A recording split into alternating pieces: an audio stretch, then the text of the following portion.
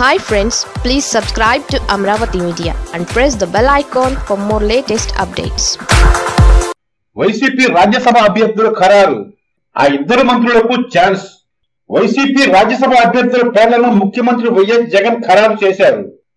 ఊహించని విధంగా తన కేబినెట్లోని ఇద్దరు బీసీ మంత్రుల్ని రాజ్యసభకు పంపాలని డిసైడ్ అయ్యారు.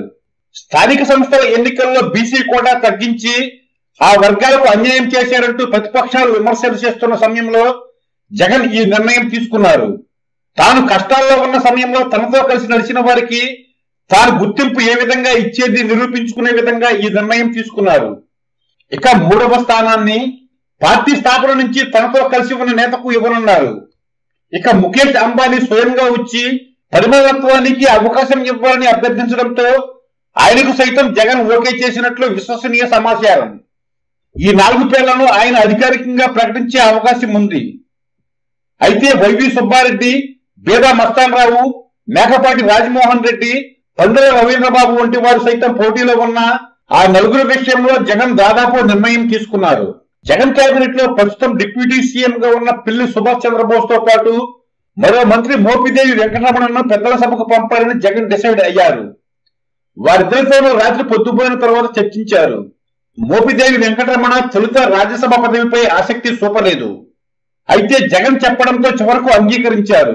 వైఎస్ఆర్ మరణం నాటి నుంచి పిల్లి సుభాష్ చంద్రబోస్ జగన్కు పూర్తి అండగా నిలిచారు. ఆయనకు జగన్ రెండు వేల పంతొమ్మిది ఎన్నికల్లో ఆయన తూర్పు గోదావరి జిల్లా మండపేట నుంచి పోటీ చేసి ఓడిపోయారు. అయితే అప్పటికే ఎమ్మెల్సీగా ఉండడంతో జగన్ తన కేబినెట్లో బీసీ కోటాలో ఆయనకు ఉప ముఖ్యమంత్రి పదవి కట్టబెట్టారు. గోదావరి జిల్లాలో ప్రభావం చూపే శక్తి బలిజ వర్గానికి చెందిన బోస్కు ఇప్పుడు రాజ్యసభ సీటు ఇవ్వడం ద్వారా ఆ వర్గానికి మరింత దగ్గరయ్యేందుకు జగన్ వ్యూహాత్మకంగా నిర్ణయం తీసుకున్నారు. ఇక మోపిదేవి వెంకటరమణ గతంలో వైఎస్ఆర్ హయాంలో మంత్రిగా పనిచేశారు. వాన్పిక్ వ్యవహారంలో ఆయన సిబిఐ విచారణ ఎదుర్కొని జగన్తో పాటు జైలు శిక్ష అనుభవించారు. రెండు వేల పంతొమ్మిది ఎన్నికల్లో వేపల్లి నుంచి పోటీ చేసి ఓడిపోయారు. అయినప్పటికీ తనతో పాటు తొలి నుంచి నిలిచిన మోపిదేవిని కేబినెట్లోకి తీసుకుని జగన్ ఆయనకు ఎమ్మెల్సీ పదవి ఇచ్చారు. ఇప్పుడు శాసన మండలి రద్దు నిర్ణయంతో వారిద్దరిని రాజ్యసభకు పంపాలని జగన్ నిర్ణయించారు. ఇక తొలి నుంచి తనకు రాజకీయంగా అండగా నిలిచిన అయోధ్య రామిరెడ్డికి సైతం జగన్ రాజ్యసభ సీటు ఖరారు చేసినట్లు విశ్వసనీయ వర్గాల ద్వారా తెలుస్తోంది. అయోధ్య రామిరెడ్డి రెండు వేల పద్నాలుగు ఎన్నికల్లో నర్సరావుపేట నుంచి ఎంపీగా పోటీ చేసి ఓడిపోయారు. రెండు వేల పంతొమ్మిది ఎన్నికల్లో ఆయనకు సీటు ఇవ్వలేదు. అదే కుటుంబానికి చెందిన మోదుగోల వేణుగోపాల రెడ్డికి ఎంపీ సీటు ఇవ్వడం అదేవిధంగా అయోధ్య రామిరెడ్డి సోదరుడు ఆల రామకృష్ణారెడ్డికి మంగళగిరి నుంచి గెలిస్తే కేబినెట్లో స్థానం కల్పిస్తారని జగన్ హామీ ఇచ్చారు. అయితే సామాజిక సమీకరణాలతో చివరి నిమిషంలో ఆల రామకృష్ణారెడ్డికి కేబినెట్లో స్థానం దక్కలేదు. దీంతో ఇప్పుడు అయోధ్య రామిరెడ్డిని రాజ్యసభకు పంపాలని జగన్ నిర్ణయించినట్లు తెలుస్తోంది. ఇక ప్రముఖ పారిశ్రామికవేత్త ముఖేష్ అంబానీ స్వయంగా వచ్చి తమ సహచరుడు పరిమళత్వానికి రాజ్యసభ సీటు ఇవ్వాలని కోరడంతో జగన్ దీనిపైన పార్టీ నేతలతో చర్చించారు. అయితే భవిష్యత్ అవసరాలను పరిగణనలోకి తీసుకుని నత్వానికి సైతం సీటు ఇవ్వాలని జగన్ డిసైడ్ అయ్యారు. దీంతో మూడు స్థానాలు వైసీపీకి ఒకటి స్వతంత్ర అభ్యర్థిగా నత్వానికి ఏపీ నుంచి పెద్దల సభకు పంపనున్నారు.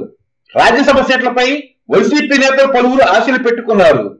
వారిలో వైవి సుబ్బారెడ్డి బేదా మస్తాన్ రావు మేకపాటి రాజమోహన్ రెడ్డి పండుగ రవీంద్రబాబు వంటి వారు ఉన్నారు.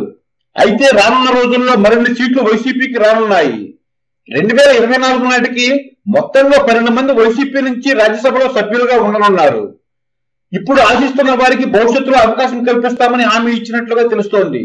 అయితే ప్రస్తుతం స్థానిక సంస్థల ఎన్నికల సమయంలో బీసీ రిజర్వేషన్ల అంశం ద్వారా టీడీపీ రాజకీయంగా ముఖ్యమంత్రిని కార్నర్ చేసే ప్రయత్నం చేస్తోంది.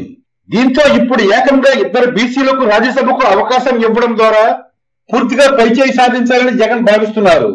చివరి నిమిషంలో మార్పులు లేకుంటే దాదాపుగా ఈ నాలుగు పేర్లను వైసీపీ తమ రాజ్యసభ అభ్యర్థులుగా ప్రకటించడం ఖాయంగా కనిపిస్తోంది.